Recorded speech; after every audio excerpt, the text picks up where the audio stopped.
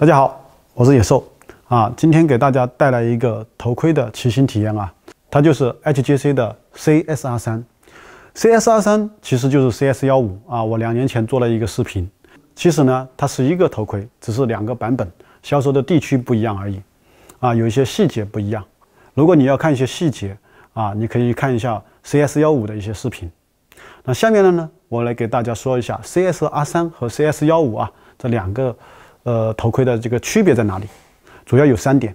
第一点呢，就是版本和认证标准不一样。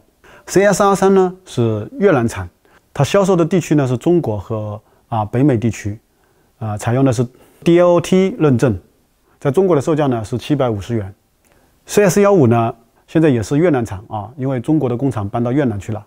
那曾经的售价呢是五百八十元，它的销售地呢主要现在是欧洲。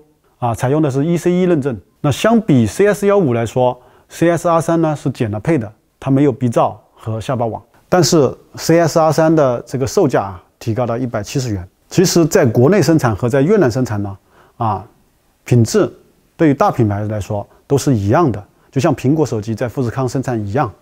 那现在 CSR 三呢变成了进口盔，啊，它的关税成本啊，还有中间的一些呃费用啊，都提高了，所以它的售价也提高了。第二点呢，就是配置上啊，CSR 三呢，它是少了原厂的鼻罩还有下巴网的，但是呢，它这个镜片锁啊还是存在的啊。据说这个镜片锁呢，要到两百四十公里每小时的速度才能用得到。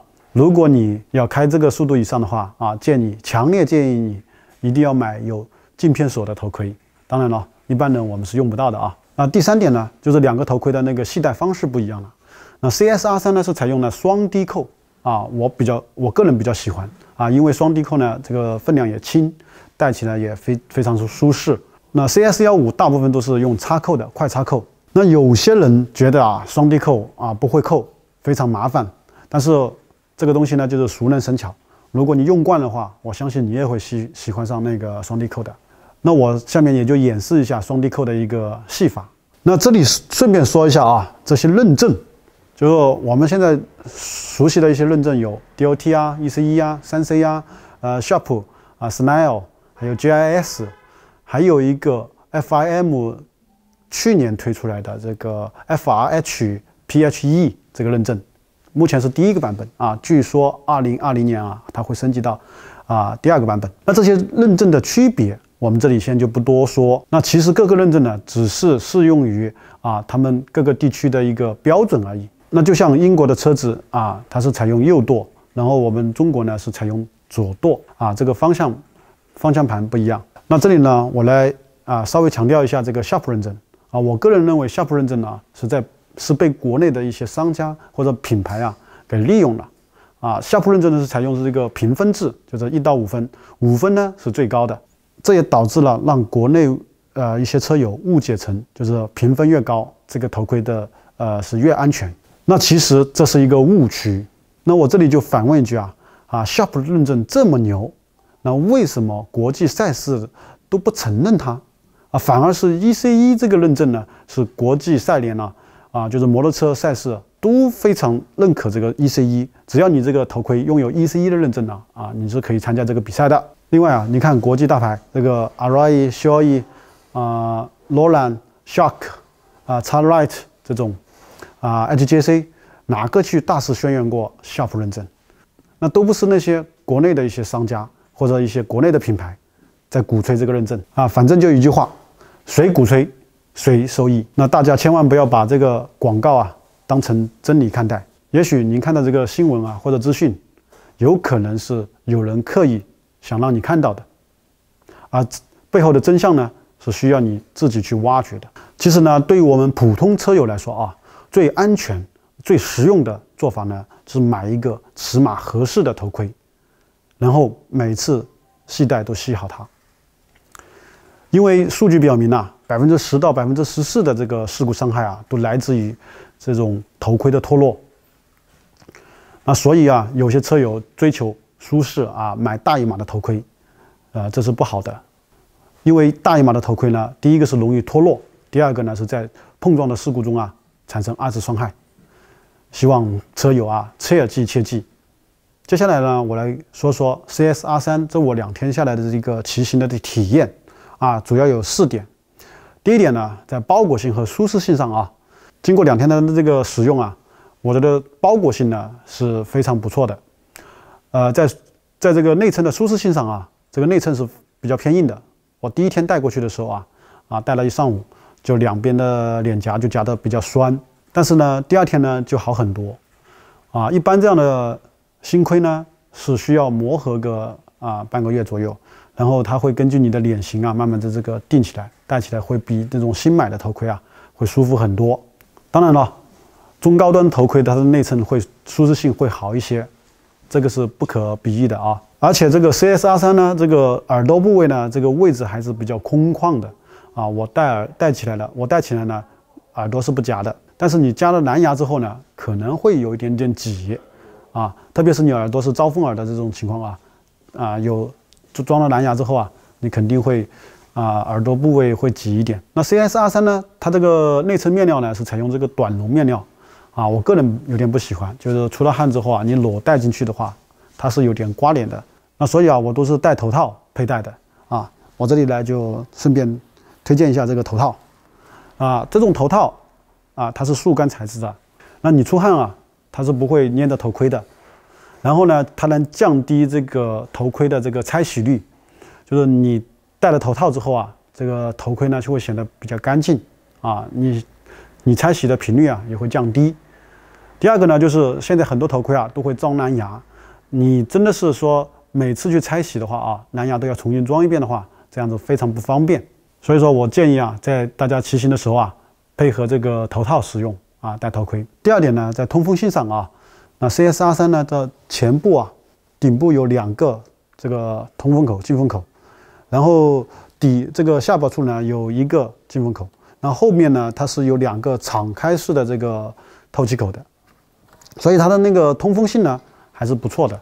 我我特别测试了之后啊，就是左右开顶部的左右这个开关啊，我一个关闭一个开啊，都能明显都能明显感觉到这个风从头顶吹进来。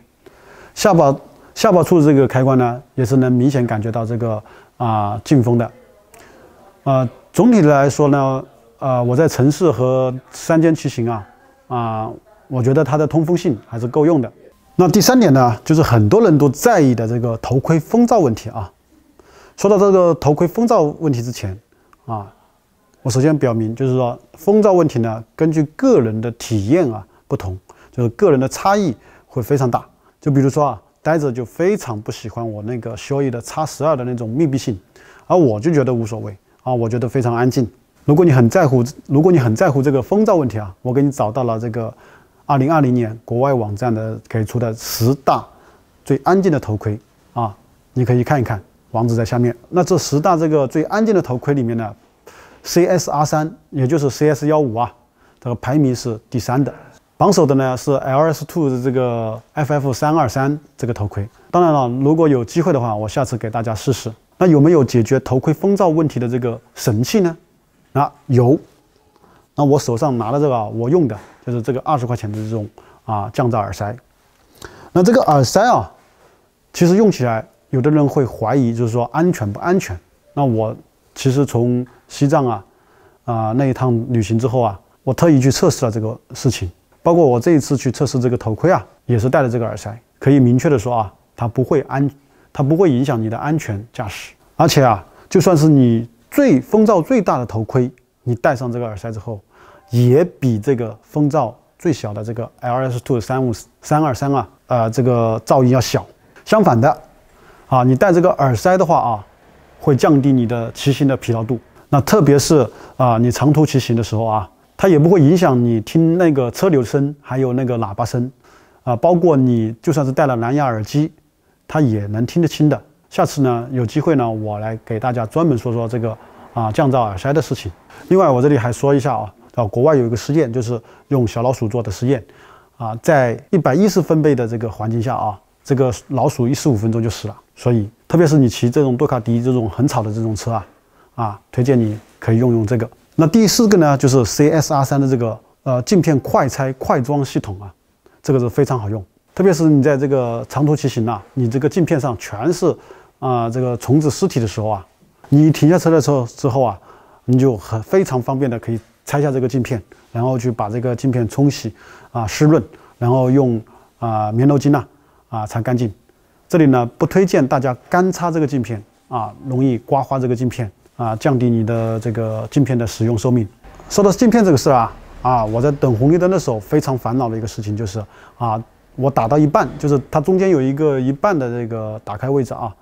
我打开之后，那个镜片的边缘刚好在我视线中间，啊，上面因为镜片是有曲率的嘛，上面是镜片，下面是空气，然后就特别不舒服。那我希望这个 HJC 这个头盔的设计师啊，能考虑到这一点。那最后我来总结一下这个 CSR 三啊，经过两天这个骑行的这个体验，对于它这个一千六百克的重量上，哇，我反正是觉得不重的。然后在通风性上啊是非常不错的，特别是这个镜片快拆非常好用，那谁用谁知道。那内衬呢是偏硬的啊，它的面料呢也是短绒材质啊，我个人是不喜欢，所以我一直都戴头套。它在做工上啊，可以说在七百五十元这个级别，就在八百块钱之内嘛，啊是一个标杆级的产品，你可以跟任何其他的头盔做一下对比啊。如果你在选购这个七百到八百这个之间的头盔啊，就一定要看一下这个 CSR 三。那最后顺便打个广告啊，这款头盔呢，我们骑士网自营店也有售啊。这个车手版呢，就是 Tony 的二十四号这个车手版啊，是售价八百六十元，报我的名号可以减一百。那普通版呢，它是售价七百五十元，那可以减五十。但是呢，我们每一个都每一单呢都送这个下巴网，就是价值五十五元的这个下巴网。啊，综合起来这个优惠呢，实实际上是比六幺八和双十一都优惠的。这个优惠期也是有个有限度啊，截止于五月十号。有喜欢的，你可以去咨询我们的客服。啊，最后呢，我戴的这一顶这个头盔啊，就这顶，呃，以三百九十九元的这个价格啊出售，它还是配的下巴网的，啊，无摔无碰啊，九九新，只有一顶啊。啊，如果你感兴趣的话，你也跟我们客服去拍吧。啊，本期视频就到这里，啊，下期见。